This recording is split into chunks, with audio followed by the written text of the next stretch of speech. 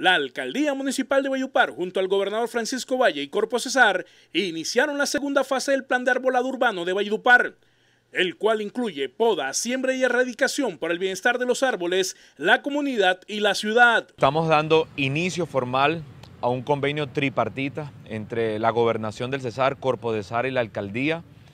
De verdad que nos llena de mucho entusiasmo seguir trabajando en este matrimonio institucional y seguir brindándole frutos frutos a esta ciudad tan importante. En este caso, nuevamente, una segunda etapa, un segundo esfuerzo para el mantenimiento del arbolado urbano de Valledupar. Necesitamos unas podas técnicas, profesionales, también necesitamos la reposición de árboles secos, árboles muertos, y por cada árbol se van a sembrar 10 más nuevos, y todo esto con el acompañamiento de la autoridad ambiental que es Corpo Cesar y la Secretaría de Medio Ambiente del Departamento del Cesar.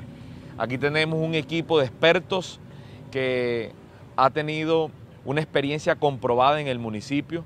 Hemos visto cómo en el 2016, cuando se hizo la intervención en diferentes avenidas, cómo respondieron satisfactoriamente los árboles y mucha gente quedó complacida, contenta con la técnica usada, con el profesionalismo y creo que hay que repetir esas excelentes experiencias ahora a nuevas avenidas. Es un esfuerzo que hacemos porque entendemos, somos entendidos que Valledupar es la ciudad más arborizada de Colombia.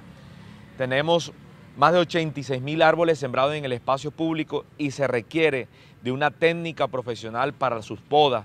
Necesitamos también todos los protocolos y la experticia para esa reposición de árboles secos y también para poder enseñarle a la gente cultura ambiental. Necesitamos saber qué sembrar, cuándo sembrar, cuándo podar y cuándo necesita un árbol ya la reposición.